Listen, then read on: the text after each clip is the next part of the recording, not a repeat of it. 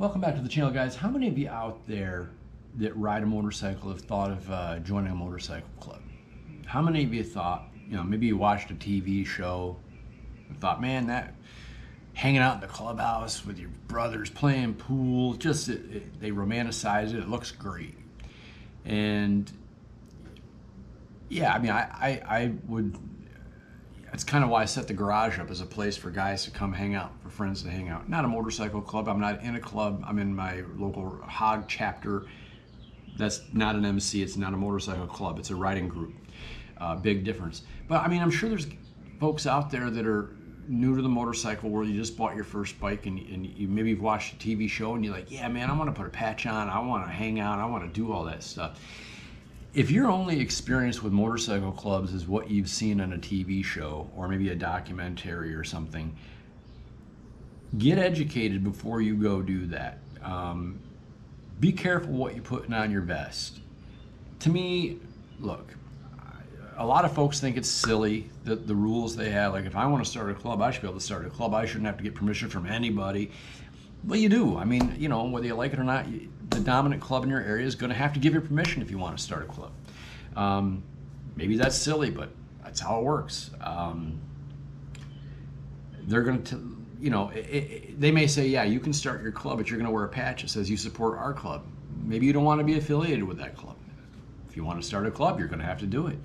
And I understand that motorcycle riding is all about freedom and the road and you don't want all these rules and all this structure and stuff. Well, unfortunately, if you want to ride with a patch on your back and you want to be in a club, you're gonna have to do that. So I've I've been riding for I don't know years, and and you know when I first started riding, I joined the uh, the Yamaha riding club, the Star Touring and Riding. I started out as the sergeant at arms, then I was the uh, and all I did really was just make sure I started the meetings, held order at the meetings, made sure nobody you know, we all took our turns talking. It was no big deal.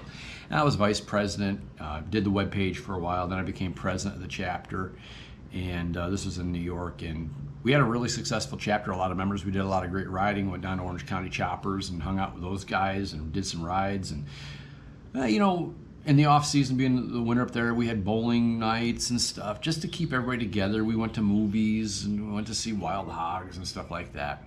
Moved down here in North Carolina, I haven't really found um, you know a club like that to join. There are some MCs down here. We do have a dominant 1% MC that's in the area.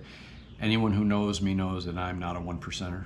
Not knocking one percenters. It's just not me. I'm you know, this is not me.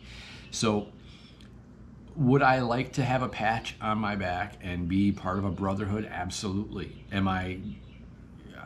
I I I guess I'm one of those guys that that I want the patch and I want to enjoy it all, but I'm too old to prospect. I'm not going to wash somebody else's bike. I'm not going to do all that. I'm not going to get up at three o'clock in the morning and go buy cigarettes for some guy.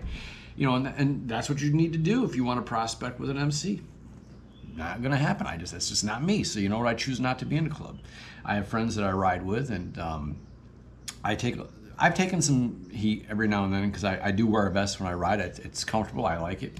Um, has a Harley Davidson patch on the back. It doesn't have a club. It doesn't have a rocker. Nothing like that. Um, but I enjoy the freedom of riding when I want, where I want, with whoever I want to ride with. And sometimes when you're in a club, you can't do that. So um, I just wondered what you know you guys think about the whole club life and um, if it's something that you thought yeah it might be fun to ride with a club if you're the dedication that it takes, you know, the time commitment, um, putting it above work and family, um, it's just, it's not anything that I'm willing to do. I'm not willing to put the club before family or job or, you know, without the job, there's no motorcycle and, you know, without my family, I've got nothing. That They're everything. So they're going to come first. So in a lot of clubs, it's not how it works, man. Club comes first got a family commitment? Oh well, club needs you to go do something, then you got to go do it. So, you know, that's just not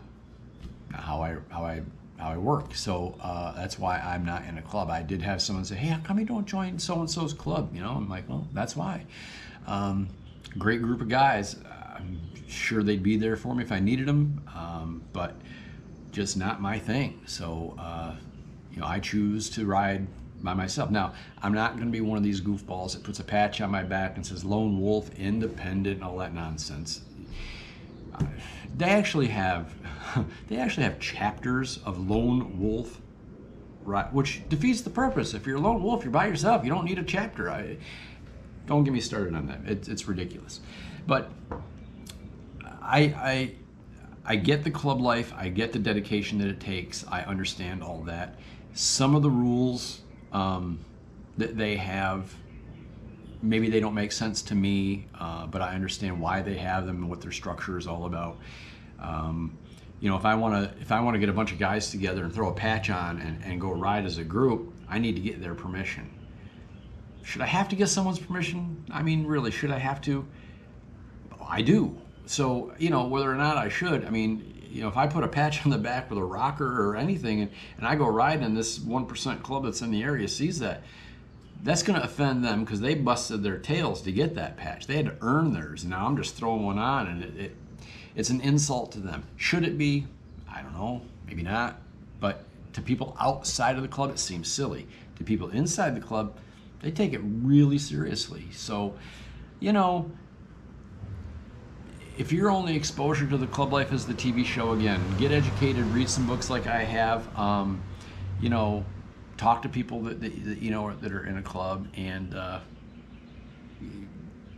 it's not for everybody. I guess is really what I'm trying to say.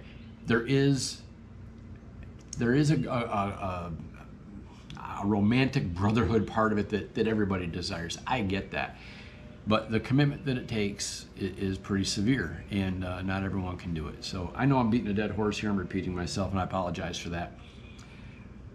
You know it was a cloudy day i'm not going anywhere i'm on my lunch break from work. I thought i'd sit here and talk to you guys a little bit about mcs and uh, again the, the, mc world you know it, it's it's fascinating to me in in that they the dedication that they have.